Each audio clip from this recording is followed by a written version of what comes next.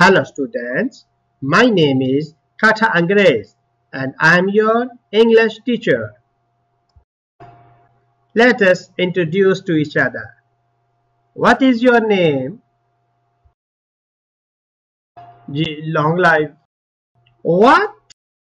I mean Umar What is your father name?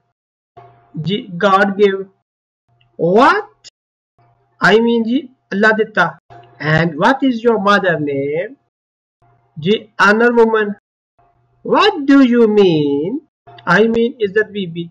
Anyways, where are you from? Greenland thousands. I mean Haripur Hazara.